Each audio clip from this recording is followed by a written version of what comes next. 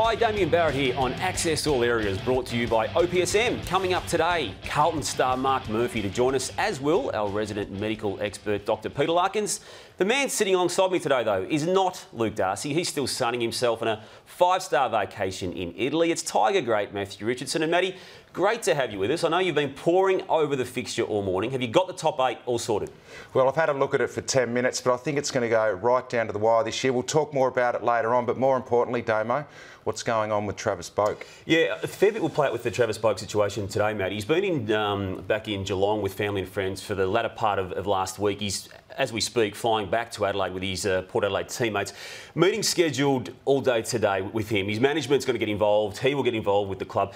Matty Primus, his coach, wants him to come up with an answer. It won't be coming today. There's going to be two or three weeks at least to play out of this uh, situation just yet, and uh, he's certainly wanting some more time to be bought on this from his point of view before he makes a decision go back to Melbourne and therefore Geelong to play for Geelong or stay at Port Adelaide. That's the only scenario he's got to face. Well, you're all across it. What's going to happen? A yes or no? Is he going or is he staying? If he had to make his mind up right now, he's, I reckon he's gone. Back back to uh, where he came from, Geelong. But uh, he wants some more time just to think it out. But if he had to make a choice right now, I reckon he would leave, be leaving Port Adelaide. Um, Matty, just an issue with the, the weekend's football, part of the split round. What did you make of the scheduling? No games in Melbourne on the Saturday. Only 17,000 people attended the two games, GWS and Gold Coast games, on that day. Yeah. Have we stuffed this up? I think so. I think the biggest issue for me over the weekend, there was not a game on free-to-air television on Saturday or Sunday, and that's not fair to the football public. Not everyone has Foxtel. I think, it, believe it's only about 30% of homes do have Foxtel. That means there's a hell of a lot of people out there not being able to watch the footy on the weekend. That's probably not good enough in my point of view. Yeah, that's uh, four games. the two on the Saturday, two on the Sunday, just straight through to, to pay yeah. TV. And just the scheduling of those games on, on the Saturday, the, the GWS game, I was there, 7,500. I, it didn't look like to me there was 7,500. So I reckon that figure itself is in dispute. About 11,000 at the uh, the Gold Coast game against North Melbourne. I think that was the other strange one that they had Gold Coast and GWS featuring the only two games on the Saturday. Just maybe one on Saturday, one on Sunday. Just it just didn't seem quite right. I don't think. Now Carlton has been in the news for, for most of the wrong reasons in the past five weeks. Will they make the eight? Because that's why you're looking at this fixture before. Well, it's going to go right to the wire, and that's what we want in this season. I think round 23, St Kilda play Carlton, and potentially I think the winner of that game could go into the finals. They'll both end up on 12 wins. The big thing for the Saints, though, is that their percentage is far and away greater than the other teams be competing with, which are Richmond and Freo. I don't think Freo will make it. I think their percentage won't be good enough. Richmond are going to be just there also, but I think it's going to come down to percentage in that last game in round 23. So the top seven to stay as it is right now, with yeah. uh, St Kilda and Carlton in round 23 to determine it, and Richmond and Freo. It's going to be a percentage out. issue, but yep. that St Kilda Carlton game is going to be like an elimination final in round 23. I think the other seven teams will definitely make it. Something that will help Carlton's cause is if their captain, Chris Judd, uh, regains some form, and it seems strange to be talking about him the way we have in the past fortnight, maybe even longer. Where's he at, Richo? Is, is he still does he still demand status amongst the absolute elite right now? Well, if you judged it right now on this season and how it's unfolding, I don't think so. He's not in the top 10 players this year. There's no doubt about that. And watching his game on Thursday night, he just seemed to lack time and ability to get out into space, something that Juddy's always done so much over his career. Is he injured? I think there may be an issue there. I think he really did need the break. He had less game time than nearly every other Carlton player on Thursday night. That smacks of a maybe a sore man. The other thing is that I think Murphy being out of the team's hurt him. Carrazzo coming back in will help. And the other thing is Simpson and Scotland have just dropped off a little bit as well. So it's a combination of probably four or five things with do, Juddy. With Juddy, do, do, you worry about the fact he's copped so much hard tagging and, and hard opposition for, for his entire career? Do you fear that we have seen the best of him and that's behind him and, and what's left is just going to be a patch-up? Look, I think he'd be a brave man to write Chris Judd off. He's an absolute champion of the game, but he really does need Marc Murphy back into that team. Early this year, when Murphy was getting the tag, Judd was running around without a tag and he was playing some pretty good football. But since Murphy has gone, he's got that tag again, and other players have dropped off. It's just taken a little bit of a toll on him. On Thursday, I know you have a look at players and issues. Uh, the whiteboard, you call it, and Chris Judd is the focus of that on afl.com.au Thursday. The whiteboard, Chris Judd, your focus on that. James Brayshaw, uh, Richo, has copped it like uh, no president's copped it uh, in yeah. a long time. This is a Caroline Wilson article from The Age a couple of weeks ago. Brayshaw must be next. The Herald Sun had yet another crack at him on the weekend, uh, liking him to Happy Gilmore, um, Happy Brayshaw. And that was on the flimsiest, to me, the flimsiest of uh, news lines that Michael Warner had managed to find in a very long, supposedly, investigation into why James Brayshaw should not be at North Melbourne. The golf line was that he was seen putting, practicing his putting, uh, while a member of Parliament was being given a tour of the, the club's facilities. I mean, right. for starters, he wasn't putting. It was an antique uh, 7 iron, so it's factually factually incorrect anyway. Who cares? Yeah. I, I, I, cannot get what is happening to, to James Brayshaw here when it's actually the club itself and the football side of it. Brad Scott and the players, it should have been copying it, not James Brayshaw. Look, it certainly does seem a little bit harsh, definitely, from my point of view. But is there a view going around town that the problem with Jim is that he's not ringing back uh, these print journalists when they call him and maybe they're getting their back up because of that? Yeah, look, uh, there is that doubt. I mean, but James Brayshaw won't call uh, people back. He doesn't trust them to, to use the information he gives them. That, that's James saying it. And look, if I was James, I, look, there is an agenda going on here to get rid of him, um, and it's not really being done successfully because Caroline Wilson came with Sam Kekovich as a replacement, uh, honestly. Um, media, oh, sorry, not media, umpire interpretations, Richo, they yeah. change, maybe not weekly, but they change through periods within a season. What's your bugbear at the moment with that? Well, the biggest thing for me is that they do change week to week, the interpretations. And I have no doubt this weekend the little rule for the week was let's get the ball thrown up a lot quicker. The ruckmen weren't even there at times. Other players were having to contest the ruck. And in the games that I saw, they obviously changed that interpretation from last week. The other one is the rolling scrum that they're worried about. They're, they think it's ugly for the game. Well, there's a simple solution to that for mine. Just blow the whistle quicker and ball the, ball the ball up. They're waiting and waiting and waiting for the ball to come out. It's not, and they're creating their own problem, in my point of view. The interpretations changing are the issue. There's confusion everywhere on this. Uh, Nick Riewoldt, one of the game's uh, biggest names yesterday on Channel 7's Game Day, had this to say about the umpire interpretations. Perhaps something that might appease the players and supporters a little bit because umpiring is a part of the game and players make mistakes, umpires make mistakes, everyone makes mistakes. But I think if maybe on a Monday or a Tuesday the umpiring department came out and, and put their hand up and said this decision was wrong, this one was wrong, big moments in games, I, I, think that would appease supporters, players. You wouldn't get this constant, you know, antagonistic type messages and, and tweets that players sometimes put up. Nick Riewoldt there. He probably doesn't look at afl.com.au as close as he should, uh, Richard, because it's your call with Wayne Schwass and Jeff Gieschen, the umpire's boss, every Tuesday, afl.com.au, and it will be explained. Has he say, does he? Has he say? Oh, explains it why. Maybe you could explain a bit more this week because you've got a few queries there. We'll add them to the list for, uh, for Wayne Schwass's running sheet. Jonathan Patton uh, made his much awaited debut, Richard. Had knee surgery over the uh, off season.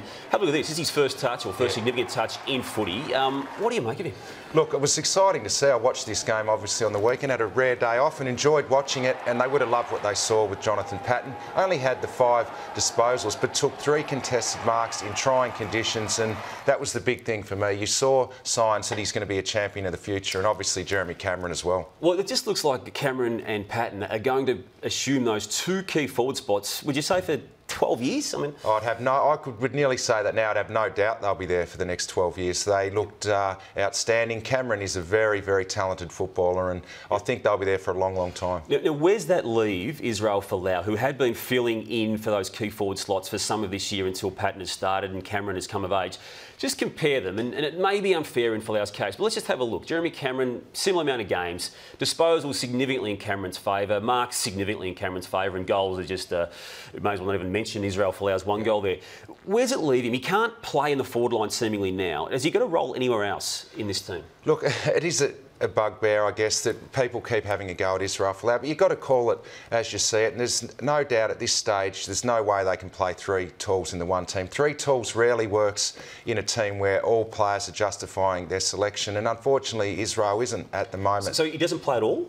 I don't think so. Not with Patton coming into the team. I don't think they can play him. A million um, dollar player getting paid a million dollars to play local football. Yeah, well, that's what it's going to be. And you, you know that people are going to say, oh, Richie, having a go at Israel Folau. I'm not. I'm just simply judging it on form. And with the two talented young players they have, it seems to me impossible that they could put all three in. And, he can't play any other role in that team? I don't believe he can play key back on the key forwards like a Riewoldt or a Franklin. And uh, they've got two good ruckmen at the mile. Giles has been great and Dean Brogan's second. So I can't see how they can fit him in.